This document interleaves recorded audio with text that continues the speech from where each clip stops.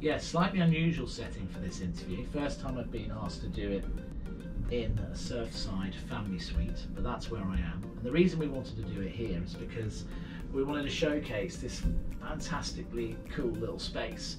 So if you've got two small children, um, this gives you two bunk beds, one above me, which you can see here with a really cool staircase up, and then one here to my right. Both have their own little mini TV screens. We have this curtain that you can pull across. They've both got recharging points for phones, individual lighting systems, so you, your kids can be happy as Larry here.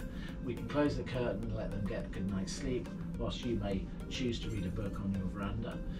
The other thing I like about this space is we've got two separated bathrooms. We've got the bathroom and we've got the toilet separately, which I think for any family will realise the benefits that has. But it's a fantastic new space and uh, one that I'm sure is going to be extremely popular.